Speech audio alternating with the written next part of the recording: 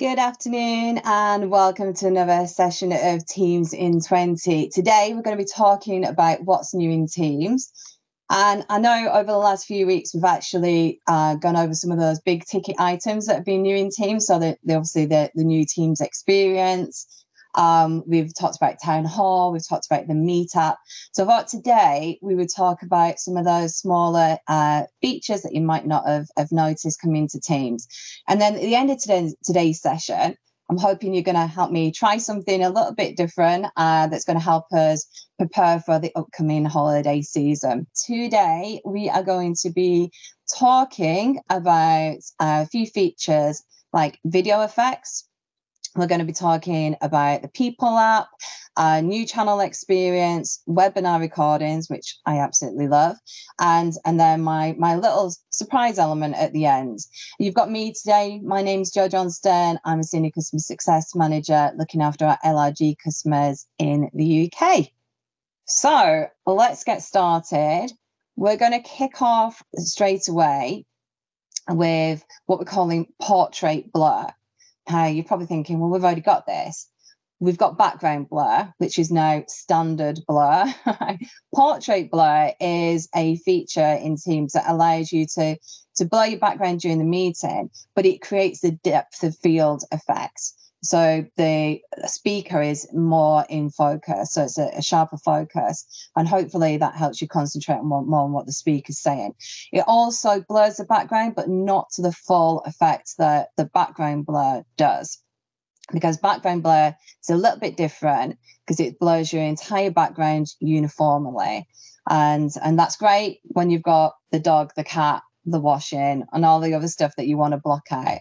So let's have a look at that. So we can try this out on this cause. Let me show you what this looks like. So if I go into effects and avatars, you see I've got the, the standard background blur and I've also got the portrait blur. So if I look at standard, we apply that, you can see it's blocked out my background and uniformly it's kind of all blended in. Now, if I go and have a look at portrait blur and apply that, you see the background is less blurred. So you can see a little bit more of what's going on behind me, but I'm more in focus now. And we're, you know, I'm kind of, I suppose, being brought to the forefront of the screen. So yeah, I definitely think this is a better option if you want to really concentrate on the presenter. I'll just show you that again. So standard blur, everything's blacked out. So if you want to hide the washing and the kids and and the dog, then that's great. But portrait blur, if you just really want to focus on that presenter. Uh, let me just go back to my Teams in 20 background. The next thing I wanted to talk to you about is uh, the People app. So another cool little app that's come out, um, and it's a place where you can store all your contacts. So whether they're external or internal, um, you can do things like you'd expect, like favorite them, put them into categories. Uh, you know, if I've just got a an email address for one of the councils that I work with, and I might just put that in there, or I can search up a colleague that I work with uh, on that council account. Um, it's also a really quick way to get contacts into your, your speed dial. And as as we go through this, at the end of this, I'm going to do a little demo and show you where you can find these. One thing I would say is uh, in classic teams, I couldn't find the people app. So I think it is only actually in the, in the new teams experience. Um, talking about the new experiences, the new channel experience. So now you can have your activity appear at the top or at the bottom. So the area where you've got to to create your post, you can either have it at the bottom of the thread or at the top of, of the thread. I think lots of people got a bit annoyed when the new channel experience came in and the way the the posts were uh, the opposite way around to what they were comfortable with. But some people have loved it. So now you've got the option to pick which one you want. And just staying with that channel experience, you know, some threads can be quite long. We want to reduce as many clicks as we possibly can. So now, and when you're looking at those replies in a in a long thread, we'll actually see the the last three posts there. Um, and but you know, if you want to obviously look at the rest of the thread, you can then click the link. Now, the info pane uh, has been there for quite a while actually, but I don't think people have used it as as much as um, they they could have. Now that the new Teams experience doesn't have that saved post option, uh, this might be quite useful if that's something you used before because in the info pane you can pin posts so you can have that list of posts that were really useful within that channel uh, you can also search that channel see the people in there and manage the channel from that info pane. And I'll, I'll show you that as we go through the demo.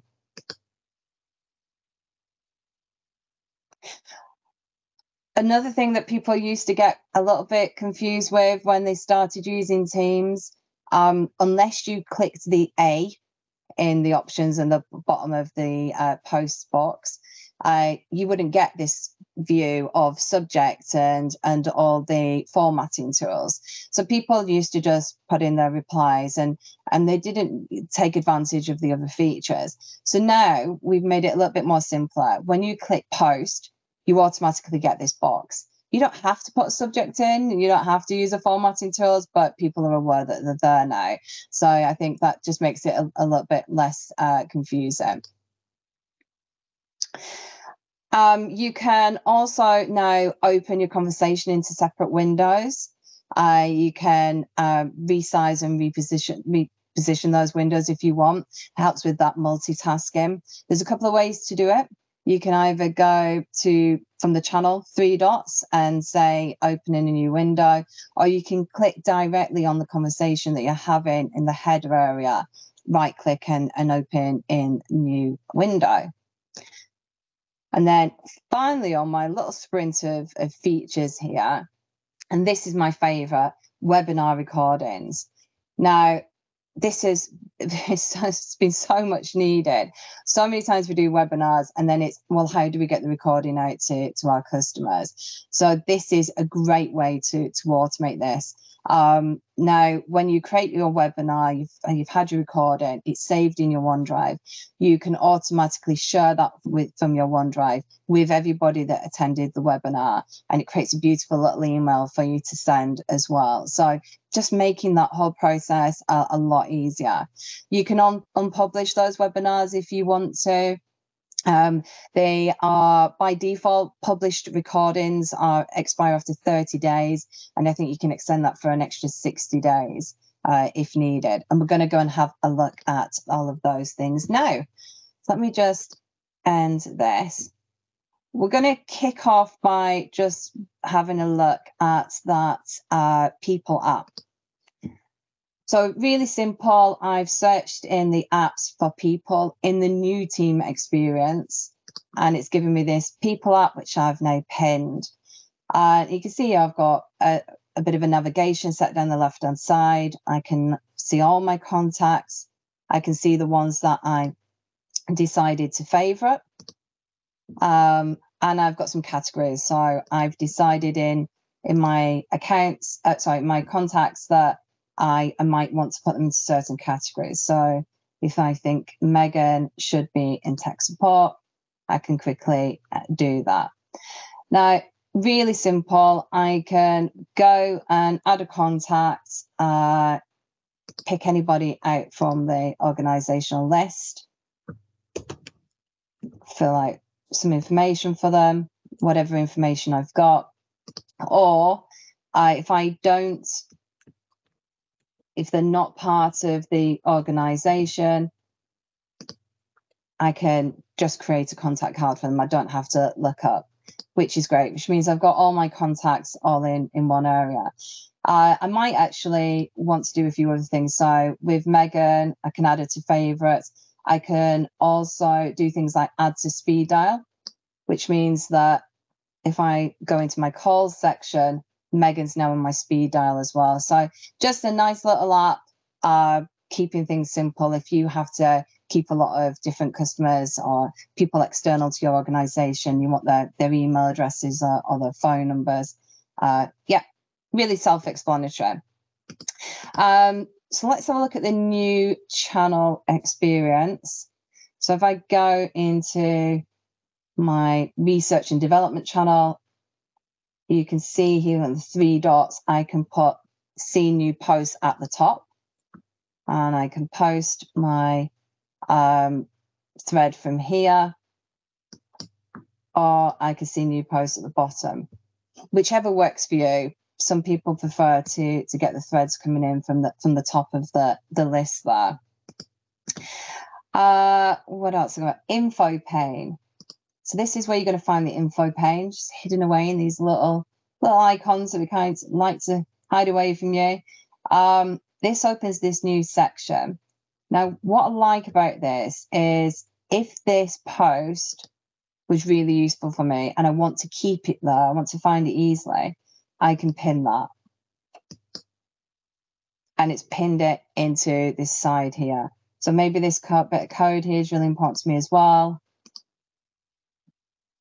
Um, and I could, so you get the idea. So those people that uh, were used to the save posts and, and are missing that now they've gone to new teams, that might be really useful for you. You can also do things like uh, search that channel as well and manage the channel and channel notifications. So fa- fairly straightforward. Just want to call it out because not many people realize it's there. Uh, the other part I mentioned was about this post. So when you click, um, let's try to show that again, start a post, it opens up the full box now and not just has, as it did before, we've got this reply, just have this section here and you would have had to press this the A button. Now you're getting the, the full box automatically.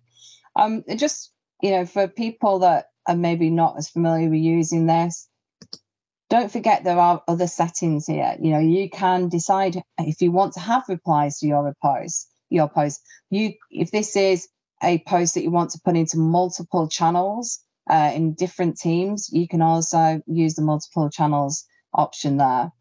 Um, and then obviously you've got the post and announcement piece there. Yes, I know everybody wants to be able to put pictures back in this area. Uh, I miss that feature too.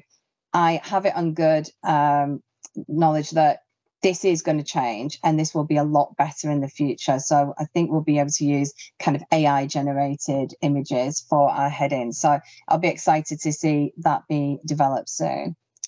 Uh, what else did I want to show? you? Oh, opening conversation new window. So if I wanted, um, let me just say, oh, one thing I have noticed is in my demo tenant, this feature isn't available yet. So I'm just going to go into my um, live tenant and see if I can just show you this feature.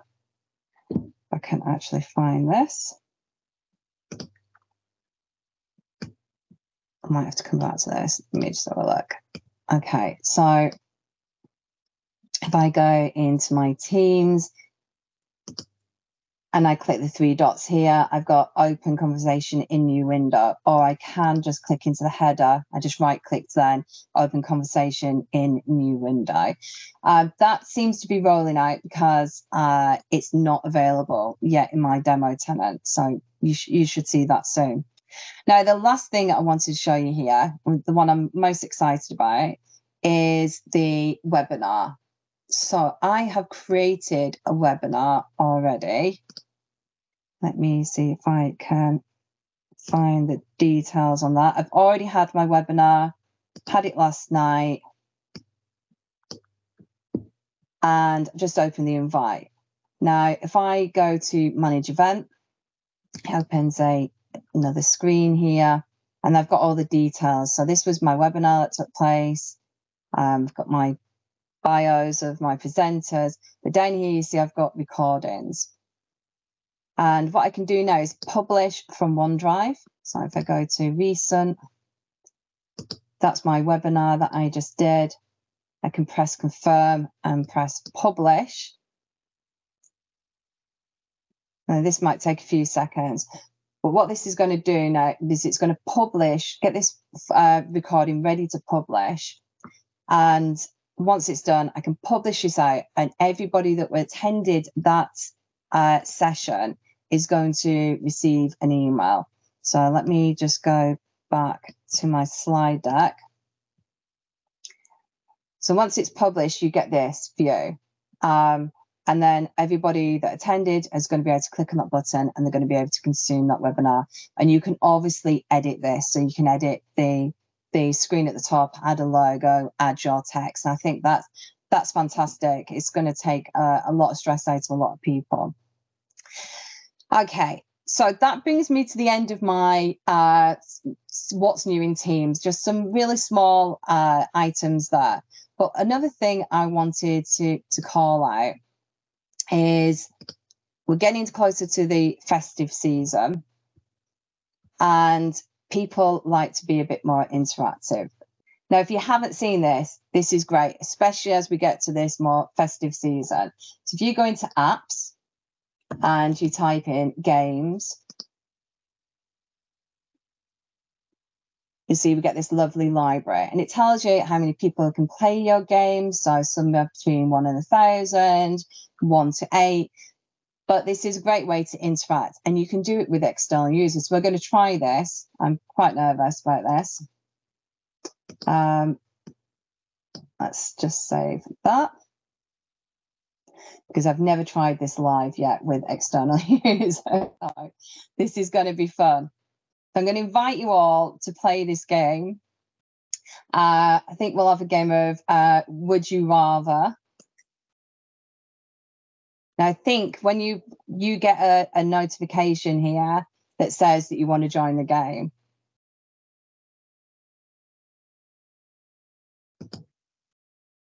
Okay, so.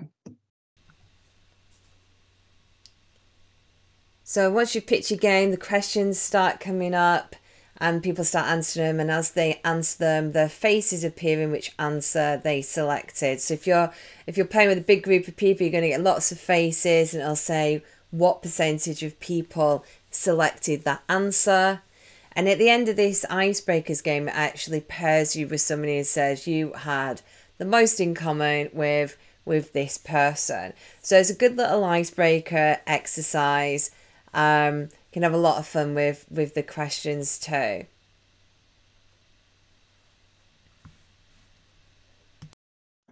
And you can change the game. You can end the game if you want. You can end the end end the voting.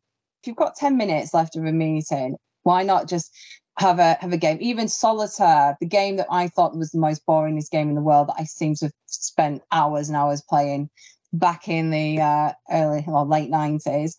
Um, is competitive. So it's whoever finishes the deck of cards first. Uh, I had a game the other day with some of my colleagues, and it was it was hilarious. So I'm going to share the links uh, for, for this.